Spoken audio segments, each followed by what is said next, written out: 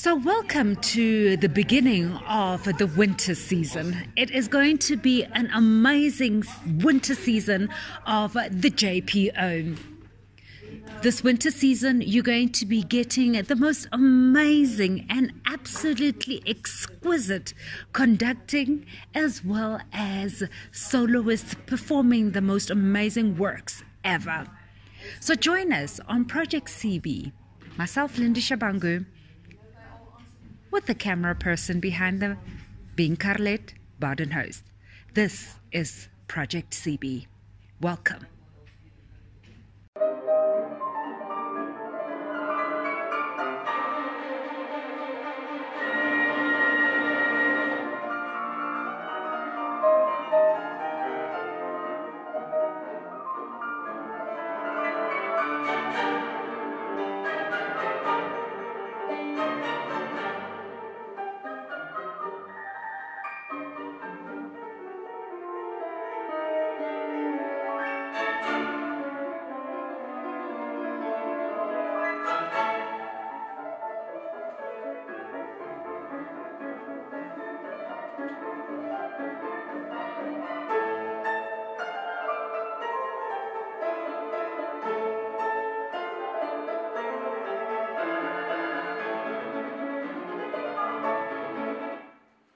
So that's what the third movement sounds like, or a bit of it. And uh, the pianist uh, last night, Edith Peña, it seems like she's the type of pianist, if you ask her to play this work backwards, she'll be able to do it. She knows it inside and out, and she gave a really, really good performance last night.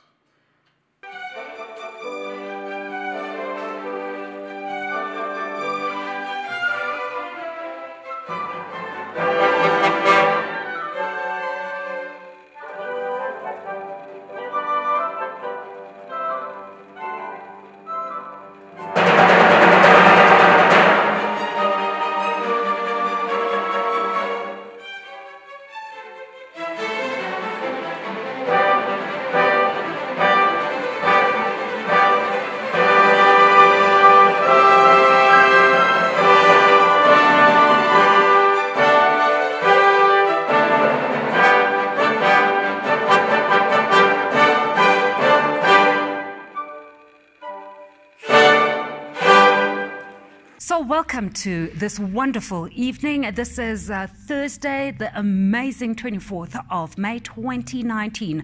The JPO winter season has started, and tonight I'm catching up with the most amazing, soothing voice on radio on Classic 1027, and his name is Dino. Dino, welcome to Project CB. Uh, thank you very much. I just want to ask quickly have a shot at saying my surname. Um,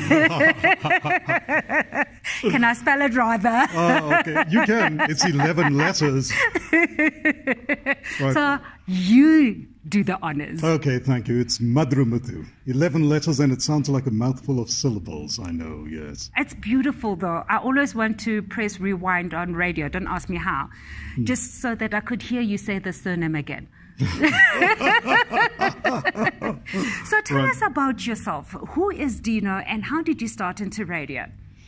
Well, um, I started in radio on Classic 1027 in the newsroom. I was a desk editor and doing the early shift and uh, getting up at 3 in the morning and being at work at uh, 5 a.m. I can honestly say I don't miss those days.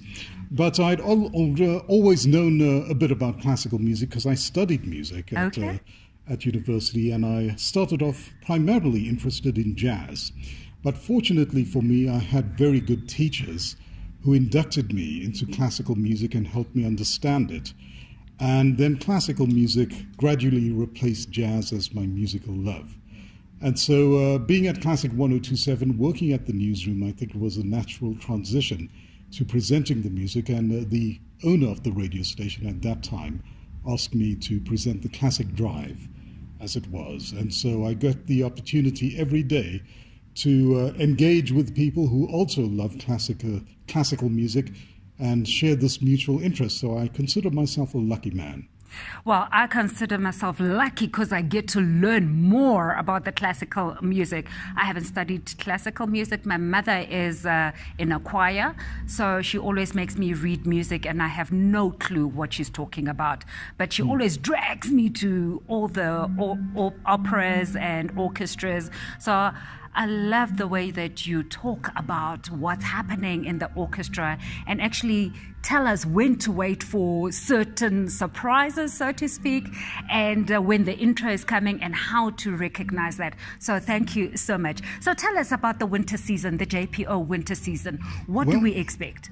Oh, you can expect some great music. And although, you know, at the radio station we play recorded music, I still maintain the view that live performance is best. Mm. And so what you can expect throughout the winter season is works of genius composers played by world class musicians.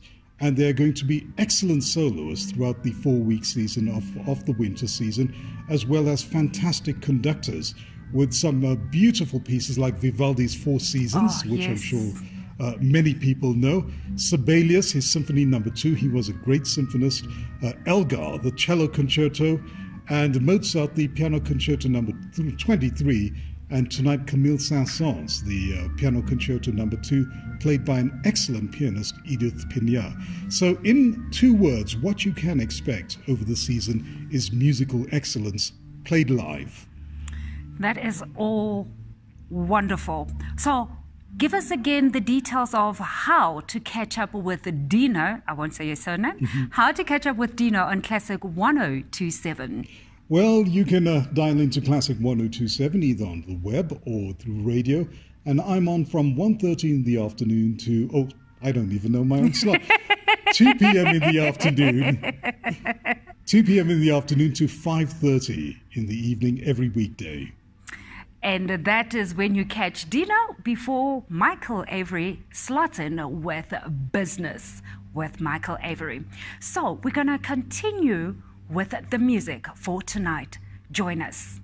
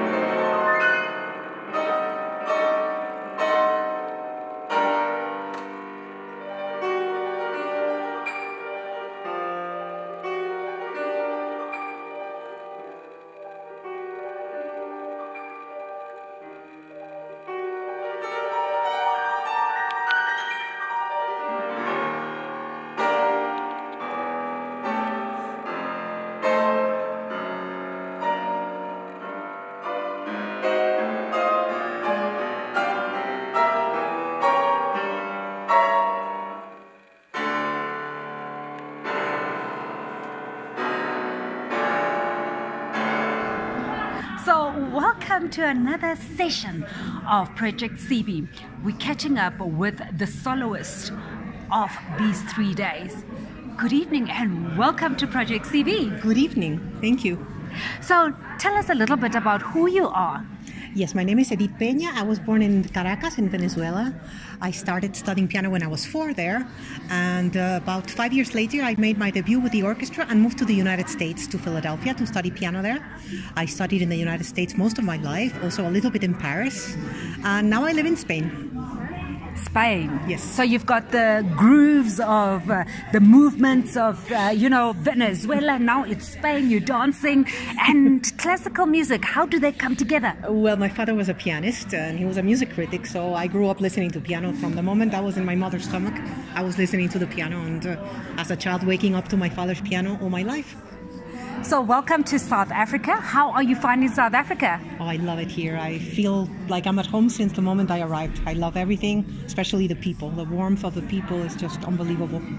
Tell us, how did it come about to be playing with the JPO? I was recommended by Maestro Raiskin, who conducts here quite often. They asked him for a pianist who played Saint-Saëns' second piano concerto, and I recorded this concerto with uh, the Venezuelan Orchestra some years ago, and the recording is uh, on YouTube. So he recommended me, and uh, they heard it, and I guess they liked it, and they invited me. Okay, so we're going to be tagging that um, uh, concerto as well on uh, the channel. So, what's your next step from here? Well, I go to Durban for next week to play Brahms' first piano concerto.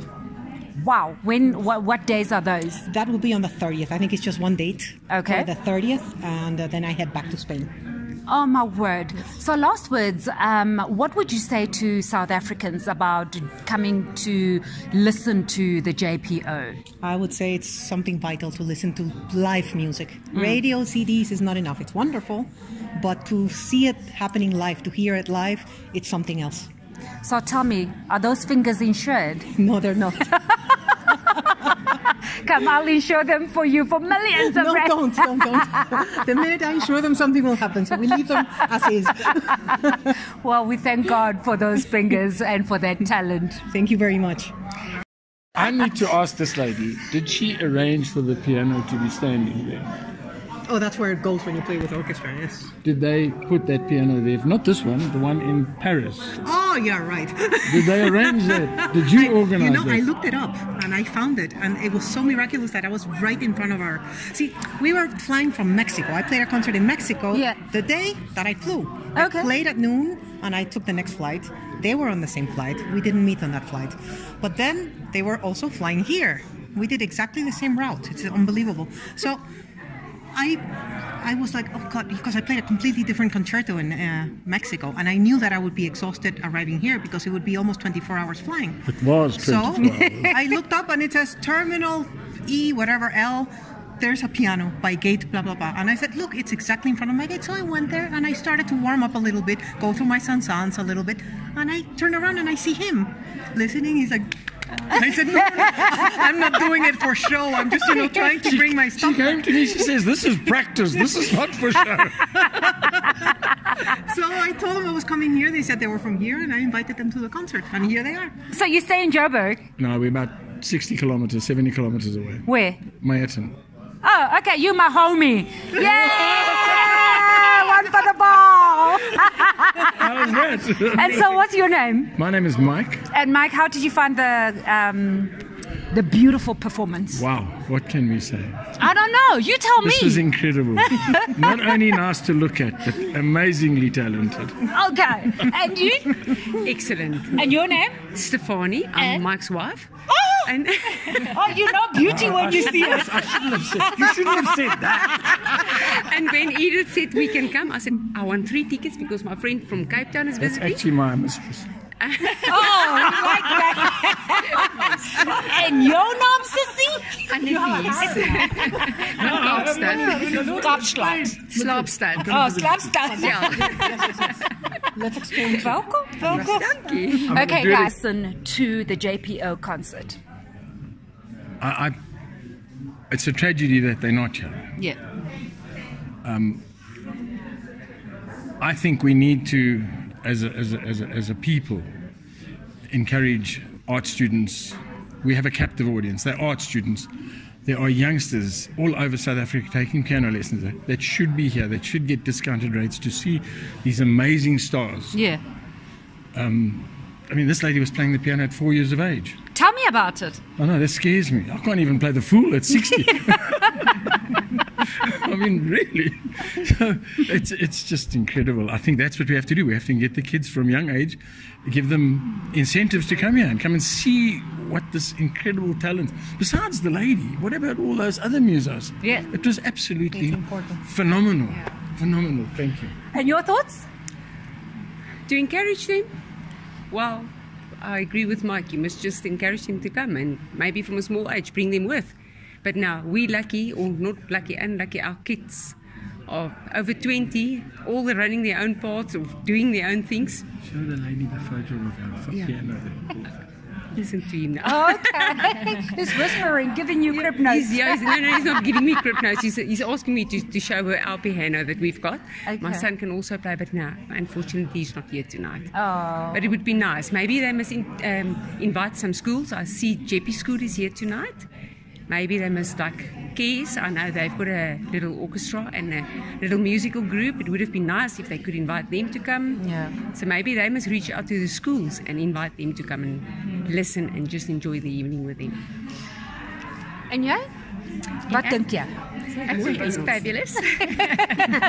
yeah, we just need to educate them more. I don't think the, the younger children are educated in the classical music, in this type of music. I went to Umelo High School, which is uh, an art school, and we had all this at the school. And it is fabulous. I think the young people don't get the opportunity to see this. We should bring them here. Okay. It's baie goed geweest. Ah, dankie. And uh, that is how we wrap it up with the second session.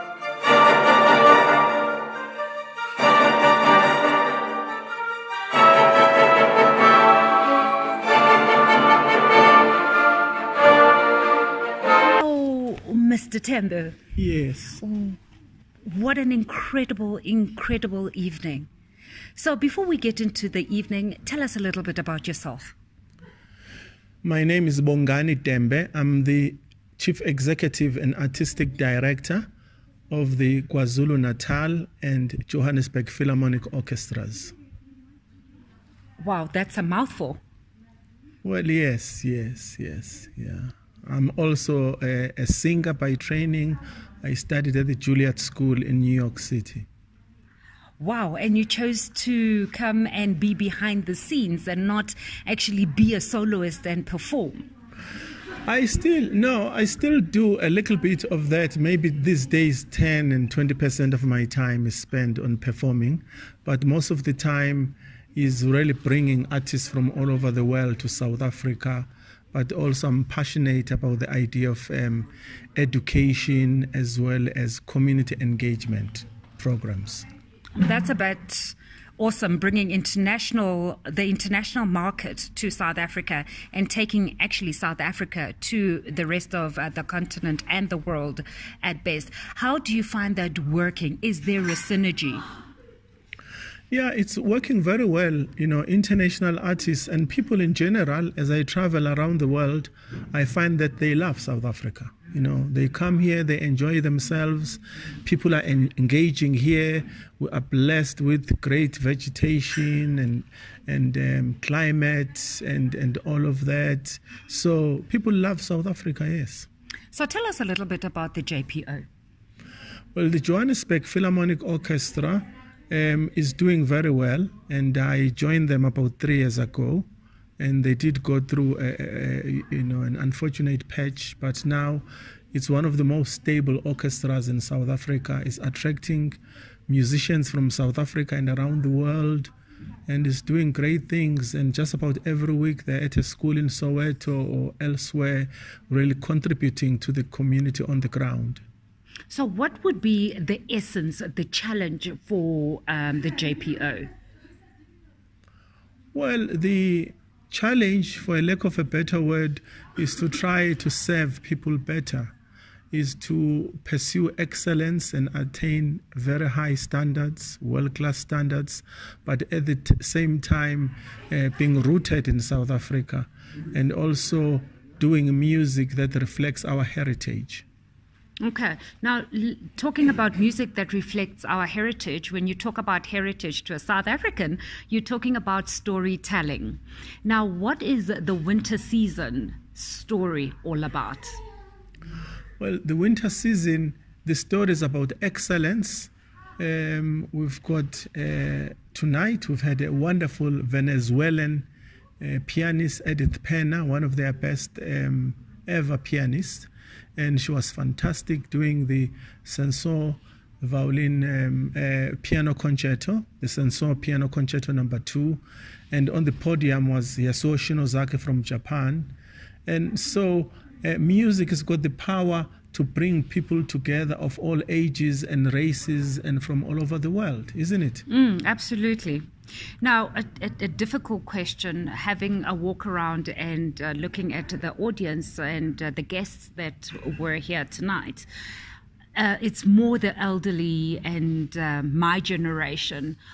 How are you going to, or how are you planning to encourage the younger generation to come through? But your generation is the younger one. it's a very good generation. Yours. Ah, we get in there.